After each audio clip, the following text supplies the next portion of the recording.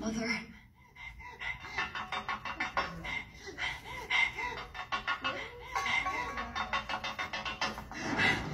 Mom, it's okay. He's just a friend. Sigh.